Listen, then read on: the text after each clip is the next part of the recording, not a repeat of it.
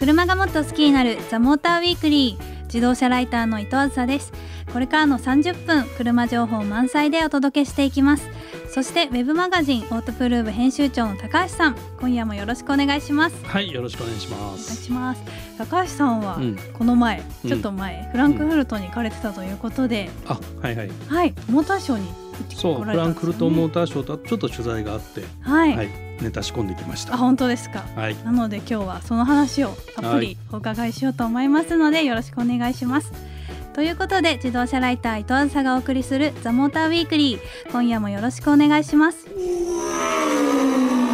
Motor Weekly. 自動車ライター伊藤梓がお送りしているザモーターウィークリー。早速ですが今夜はこんなメッセージが届いていますのでご紹介していきます。はい。ラジオネームギガレフティさん。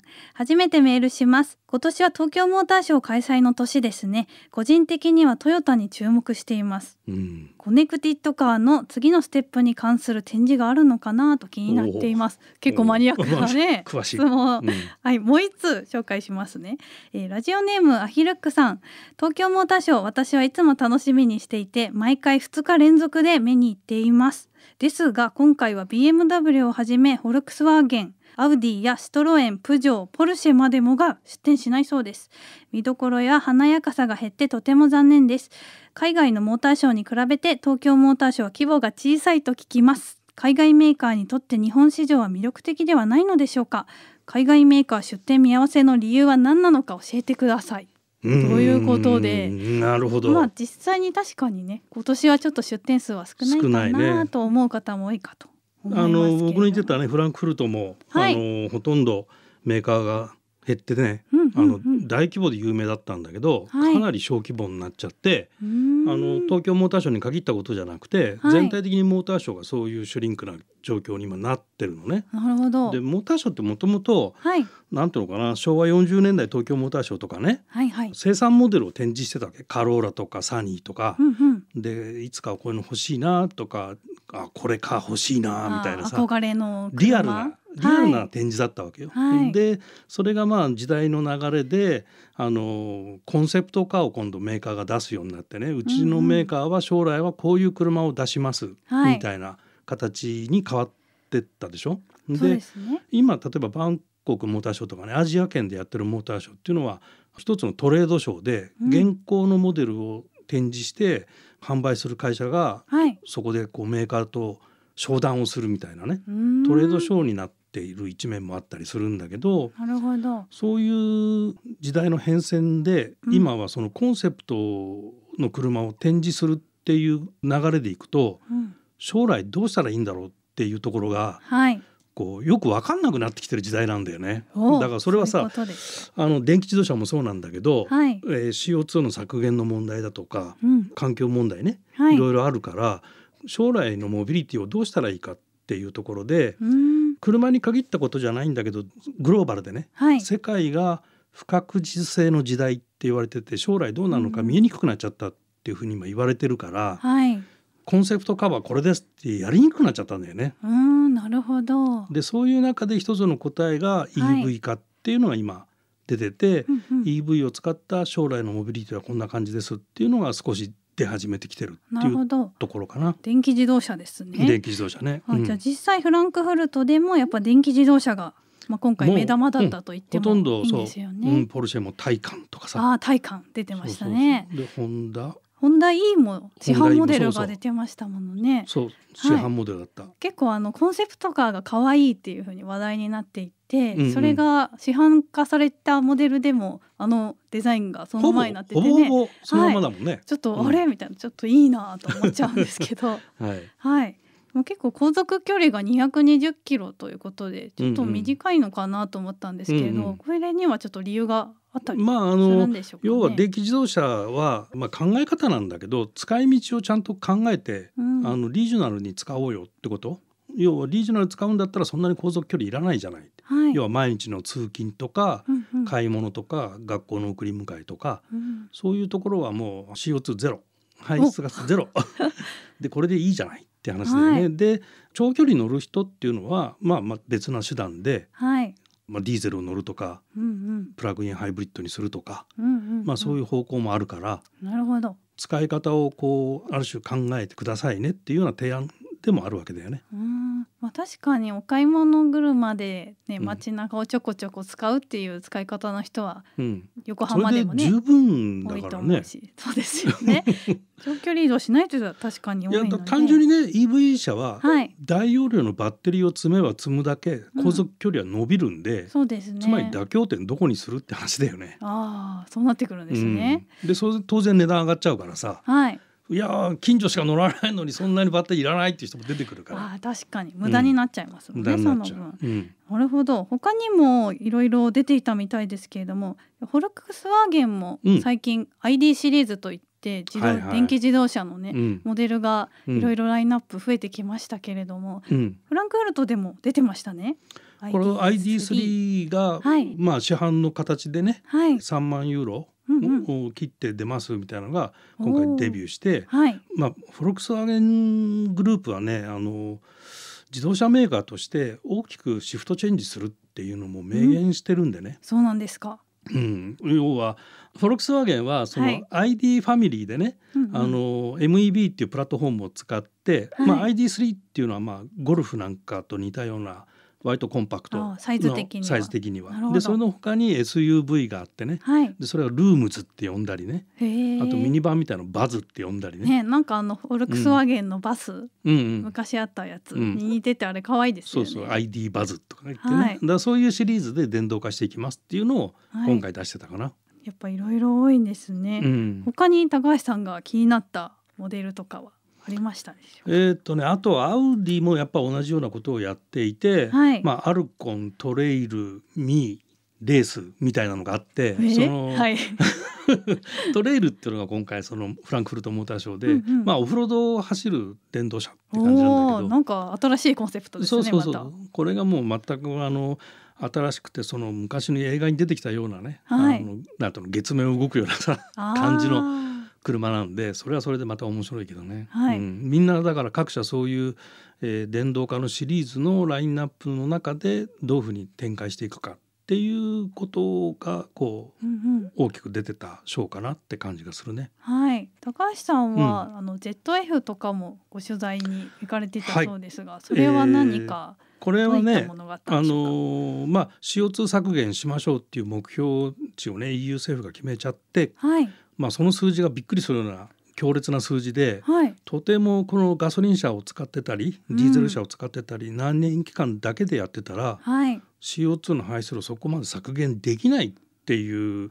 数字が、まあ、2030年目標で 59g ヨーロッパでっはい。ていう数字が出されてそれに向けてどうしたらいいんだろうとではいそれの手前に25年の目標が 91g だったかな、うんうんなんかそういう数字も刻まれてるのね。うんうんうんでえー将来どうしたらいいか。さっき言ったその不確実性の時代なんで。不確実性の時代。はい。どうしたらいいかうんなかなか難しいと、うん。でだからとりあえず目の前にあるものを改良していって CO2 を減らそうよ。っていうところがまず一つあると。なるほど。でそこでまあ ZF とかああいう、はい ZF って普通の人知らないと思うんだけどそうですよね。ティア1っていう言い方を我々はするんだけどはい。あの自動車メーカーへパーツとかシステムとかを、あの提供している企業で、うんうんサプライヤーですね。サプライヤーですね。はいで ZF も世界の、えーナンバー2とかナンバー3とか、うんうんそのくらいの規模で企業規模としたらその例えばマツダとかスバルとかはい。それくらいの企業規模な感じなんだけどまあグローバルメーカーレベルに。そうそうそううんで、はいそういうグローバル企業でね、うんでそこで提供していくのが、まあ、PHEV が、まあ、ワールドプレミアしたんだけどはい。これがね8速 AT のトランスミッションにはい。モーターを内蔵してますと。うん、モーターを内蔵しちゃうんですね。そうでそれに、えーパワーコントロールユニットも内蔵しちゃってるうんパワーコントロールユニットまで内蔵。これが第4世代なんだけど、はい。でこれはあのモーターの大きさがね高電圧から48ボルトぐらいのマイルドハイブリッドまで何にでも対応すると、要要は搭載する車によってはい。モーターの大きさバッテリーサイズ何でも変えても対応できるトランスミッションですよっていうのをやってる。結局それをモーターの稼働率が高ければ高いほどはい。CO2 が削減できると、うんうん。そういうソリューションを提供してますっていうのをやっててね。なるほど。でこの ZF っていうのはトラックバスのバッテリーとかうんうん。シャシーも開発していて、うん。まあ、自転車も作ってたりしてね。あそうなんですか。あの何モーターモーターアシストの自転車？ザックスブランドで。詳しい人とすごいね速そう。絶対その自転車欲しい。でその自転車、はい。えーバストラック、はい。それから乗用車それからロボタクシーとかね。ああと15人ぐらい乗れるミニバスはいみたいなものもこうソリューションとして提供します。もちろんその自動運転のシステムサプライヤーだから、ですね。はい、そういうものも提供してますと。いはい。うところの詳細を見に行ってきました。なるほど。だとやっぱりこれからの不確実性の時代にはやっぱりもうメーカーさんだけで考えるというよりかはもうそうだね。ね車業界全体全体で考えていくような形にはい。なるのかなと。はいということで東京モーターショーもすごい楽しみだなとうん。思いました。なんかコンセプトがオープンフューチャーで車バイク本来の楽しさを感じられる展示だったり、うん。未来のモビリティ社会を感じられるものらしいので、うんうんまあ、今言ったようなことがうん。体感できるのかな、そうだね。思いますので、ぜひ皆さんそちらもチェックしてください。で来週はですねちょっと今みたいな未来の車ってどうなっていくのということをもうちょっと詳しくお話できたらと思いますのでぜひ来週も聞いてください。さあこの後はあずあず体当たりチャレンジのコーナーです.自動車ライター伊藤朝がお送りしているザモーターウィークリーさあここからはこのコーナー。三菱の車で行くアザーズの体当たりチャレンジはいこのコーナーでは毎月車じゃないとできない体験をお届けしています。今回はかなり皆さんにも納得してもらえるような体当たりチャレンジできたと思いますので 何やってたのラフティングをねあやってきたんですよ。今回ちょっと俺お休みしちゃったからね。ねちょっと、なのでぜひこのリポートを聞いはい。て体感してください。うんはい。はいということで今回の体当たりチャレンジはラフティングに挑戦しようということで三菱のエクリプスクロスのディーゼルモデルに乗って埼玉の長瀞までドライブしていきたいと思います。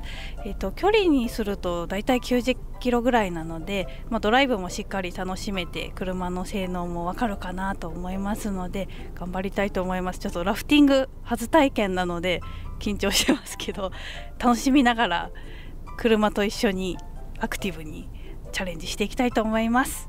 それでは行ってきます。はいということで長瀞に到着しました。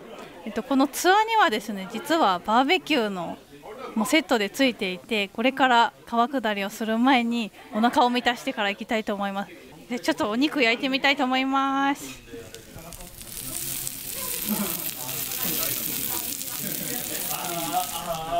音聞こえましたか？お肉とっても美味しそうです。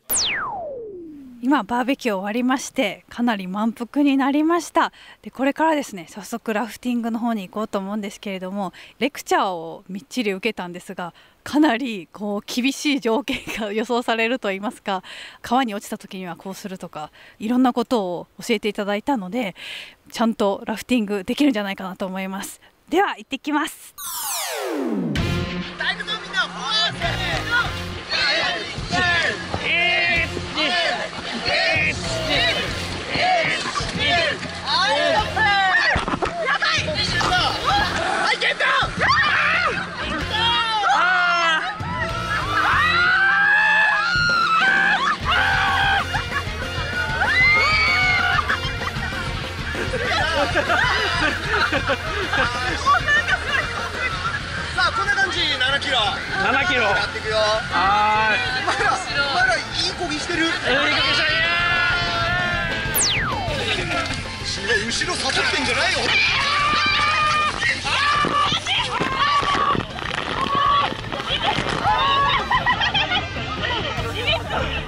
はいじゃあ全員で手つないでもう一つってはいよそしたらここに立つ順番やか順番や負けるはずがない負けるはずがないおいおい弱いじゃあ嫌がらせしてきますおい。おいおいおいおいはいはいはい。はい背筋伸ばして背筋。は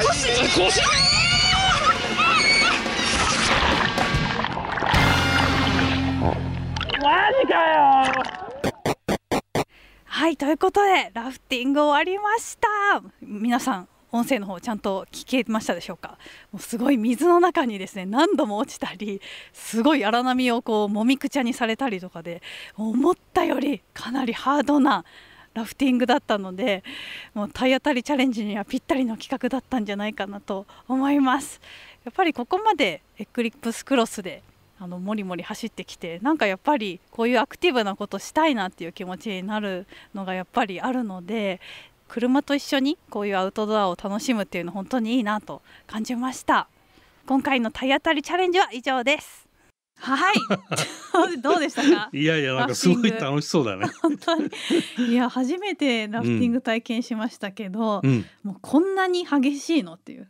何度も水の中に落ちるし もうなんかインストラクターの人に水かけられまくるしで、もう。楽しかったですよ。よかったね。はい。ということで、まあ、今回は三菱のエクリプスクロスで、ディーゼルモデルで行ってきたんですけれども、やっぱりなんかディーゼルでアウトドア出かけるのってうん。ワクワクしますね。な なんか遠出したくなるし、うんうんうん。まあ、そのさらにこのままキャンプしたいなって思ってくるようなあ気持ちになりまして。バーベキュー美味しそうだったな。そうそうそう 音だけなのに。ねえ。